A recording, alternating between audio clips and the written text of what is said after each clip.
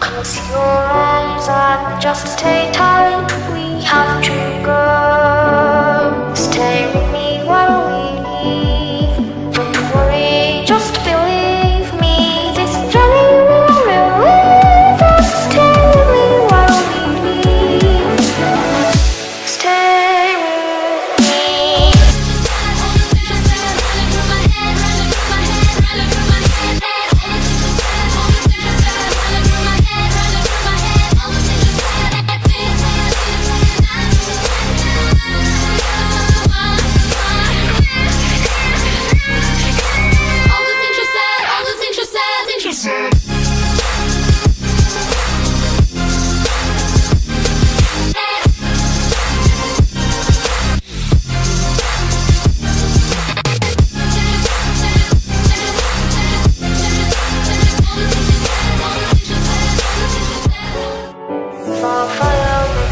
Close